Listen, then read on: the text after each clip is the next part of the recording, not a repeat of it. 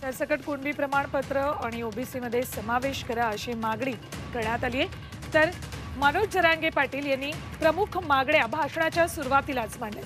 कोपर्डीच्या नराधमांना फाशी द्यावी आरक्षणासाठी बलिदान दिलेल्या पंचेचाळीस बांधवांच्या नातेवाईकांना मदत.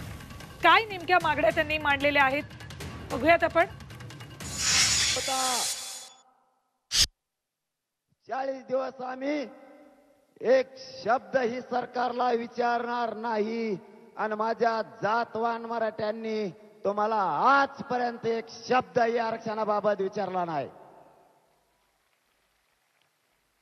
तुमच्या हातात आणखी दहा दिवस आहेत.